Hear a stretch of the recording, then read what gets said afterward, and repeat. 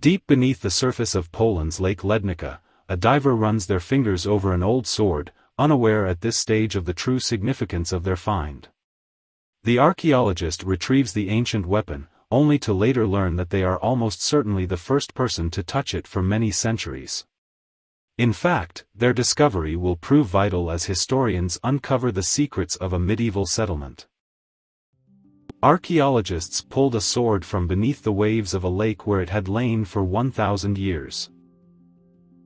In years gone by Poland's Lake Lednica played an important role in the development of the nation.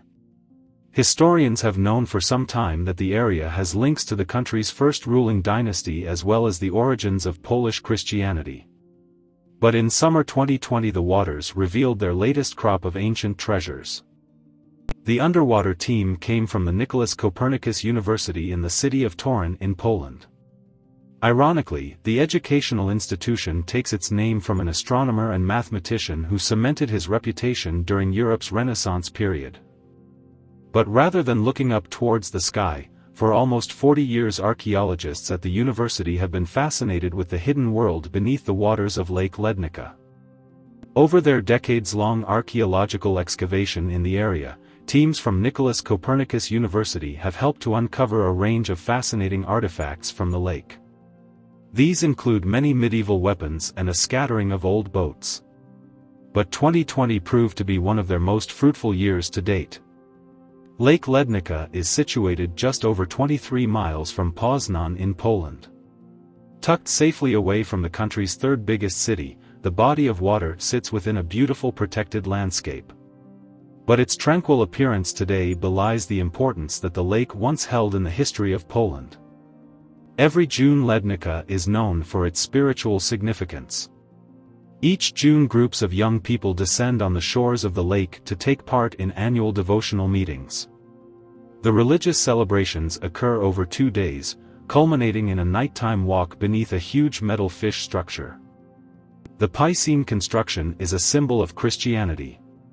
And the reason it exists at Lednica is down to the role the lake is believed to have played in Poland adopting the religion as a nation in the 10th century. That's because Duke Mieszko I is believed to have been baptized on an island on the lake. Mieszko I lived from roughly 930 until 992. He was a member of the Piast dynasty, Poland's first ruling family. In fact, the prince was the country's first true monarch. His sovereignty set in motion the Piast's royal rule, which ultimately lasted until 1370, when King Casimir III the Great died. Under Mieszko I's leadership the state of Poland expanded. It gained the region of Galicia from the historical country of Bohemia to the south. Meanwhile, the Poles also advanced northwards to take Pomerania and gain a coastline on the Baltic Sea. As such, by the time Mieszko died, the outline of his state was not too dissimilar to that of post-World War II Poland. But the expansion of Poland's borders wasn't the only legacy of Mieszko I. In 966 or 967 as a result of his wife's persuasion, the ruler was baptized. And the location of the ceremony is believed to have been Ostroledniki, an island on Lake Lednica, which would itself become an important site in the early history of the Piast dynasty. It would seem that Mieszko I's baptism wasn't solely a religious development, but also a political one.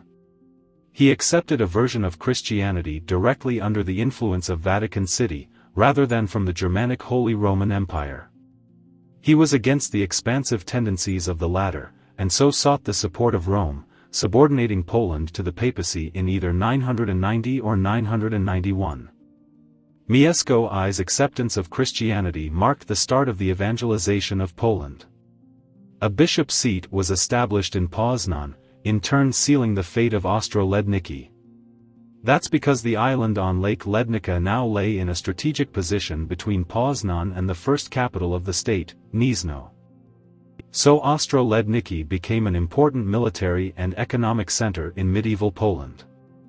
As well as being the site of a fortified Slavonic settlement, the island possessed a church, a chapel and a royal palace, where its believed members of the Piast dynasty lived. In any case, it's widely accepted that Mieszko I and his son Boleslaw I the Brave probably visited the site. Given the role that Ostroledniki and Lake Lednica have played in Polish history, the island has been a site of interest for archaeologists for many years. The first studies were conducted there in the 1950s. And about a decade later the Museum of the First Piast dynasty was established nearby in order to preserve historical objects found in the location. Today Ostroledniki and the surrounding areas are counted among Poland's official national historic monuments. It was one of the first sites to receive the honor in September 1994. And, as the home of the Museum of the First Piast dynasty, it is also considered to be the country's biggest open-air museum. But even though Ostroledniki today operates as a tourist attraction, the island and the lake it sits on remain places of important archaeological investigations. Hence the dives that were conducted by the team from Nicholas Copernicus University and the museum, the finds from which were revealed in August 2020. Archaeologists from both the Nicholas Copernicus University and the Museum of the First Piast dynasty have been conducting investigations around Lake Lednica since 1982. But the finds revealed in the summer of 2020 were said to be the most significant in over a decade.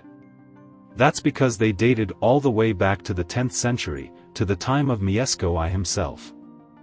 This particular round of studies centered on an area of Lake Lednica near two bridges linking the shore with Ostroledniki and another island, known as Lednicka. These structures were found in 2017 and one dates from the turn of the 14th century.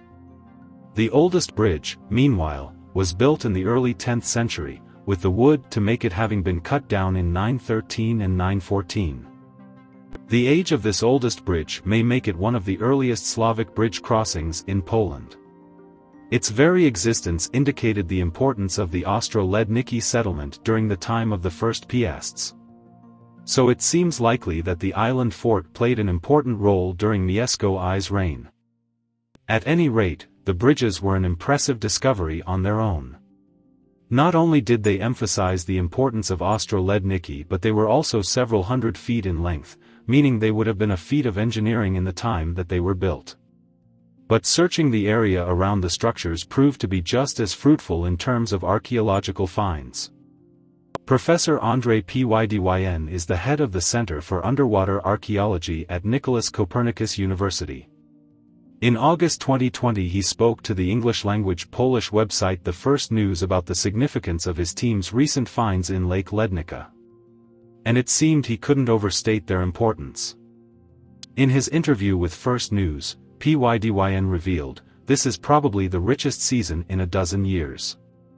Not only because of the number of objects, but also their value and the context in which they were found. So what exactly did divers uncover that got historians like Pydyn so excited? Well, perhaps the most significant of all the finds was a sword dating from around the 10th century which was pulled from the bottom of the lake. The intact medieval weapon isn't thought to have belonged to an ordinary warrior. In fact, experts believe it may have been owned by a person of importance who was traveling to Ostroledniki. Despite its impressive age, the sword was found in remarkably pristine condition. It still possessed the remains of a leather sheath and had been decorated with a cross. This motif was significant, as such a decoration would still have been quite rare for the time from which the weapon dated. While speaking to the First News Pydyn revealed the results of his team's recent underwater explorations. He said, the most spectacular finding of this research season is the eighth sword found in Lednica Lake, the first in 20 years. But also the spearhead, axes, including the encrusted axe, probably one of the more spectacular ones found here. In total, archaeologists found 21 objects. As well as the sword, these included two axes, one of which appeared to be Scandinavian in style and was embellished with silver. The team also covered crossbow bolts and arrowheads from the 13th and 14th centuries, alongside a sickle from the same period. The vast amount of weapons archaeologists uncovered in the lake seem to suggest that Ostroledniki had been a key military location during the First Piast dynasty. The finds point to a number of clashes taking place on the bridge which connected the island to the mainland. So once again the location proved itself to be an important one in Polish history. During their study, archaeologists used photogrammetry to map the bottom of Lake Lednica. The process involves scanning and measuring the lake bed to create a 3D model. Not only did this provide experts with a detailed picture of the area, but it also mapped the topography almost 5 feet beneath the bottom. The team's photogrammetry work led them to another significant study, which provided fresh information on the role and size of the settlement at Ostroledniki. Among the discoveries was the remains of some shoreline fortifications. These were likely to have been constructed from beams of solid oak. The age of the beams was determined with the help of dendrochronological analysis. This field of study involves looking at tree ring growth to work out the age of wooden artifacts. And in the case of the fortifications at Lake Lednica, it was discovered that the tree used in their construction had been felled in 980. This dates the fortifications back to the time of Mieszko I, Poland's first documented ruler. As such, PYDYN told the first news, they shed completely new light on what took place in this area. Actually, we are becoming certain that the entire area of settlements around Ostroledniki was important not only in the times of Mieszko I but also for his father or grandfather. The fact that Ostroledniki may predate the reign of Mieszko I is a significant development. Little is known about the origins of the Piast dynasty. According to legend, it emerged in the latter half of the 9th century. So Mieszko I is likely to have been the fourth prince to come from the Piast line. According to the story, the Piast dynasty first emerged following the death of Prince Popiel of Nezin, a city now known as Gniezno. He was apparently replaced by his plowman Piast's son, Siemowit. And from these seemingly humble beginnings, emerged a powerful family that ruled over Poland for about 500 years. Given that so little is known about the origins of the Piast dynasty, the subject has remained a topic of interest for some historians. In fact, in January 2020 it emerged that geneticists had taken DNA samples from more than 30 known members of the family in a bid to uncover their ancestry. While the Piast dynasty is credited with creating the Polish state, it has long been speculated that they could have descended from Scandinavians or Normans. It has also been suggested that the family originated in Greater Moravia. The historical state is believed to have once covered parts of the Czech Republic, Hungary, Poland and Slovakia.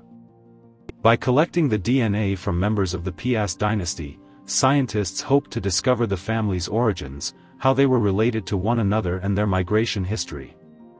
The tests may also even offer up clues to the group's appearance and even their health. But just collecting the 30 samples took a number of years. Professor Marek Figlerowicz is a biochemist from the Polish Academy of Sciences Institute of Bioorganic Chemistry.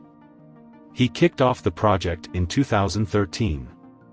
And he later told the Polish press agency, at the beginning of our research, we had in our hand a list with about 500 Piast burials, located all over Poland and even beyond. But obtaining samples from the 500 Piast burials originally identified proved to be impossible. As Figlerowicz explained, in most cases it turned out that the tombs were destroyed or the remains were completely mixed up with later ones. It was a big surprise for us. Even so, the team was not deterred. To determine the genealogy of the Piast dynasty it's key that researchers identify a common Y chromosome among the DNA samples. The chromosome determines the male sex and is shared by all the men with a familial line. So, such a discovery would help to confirm that the Piast burials were blood-related. As of January 2020 the results compiled from the 30 current samples from the study suggested that they contain differing Y chromosomes. But Figlerowicz and his team are continuing with their research.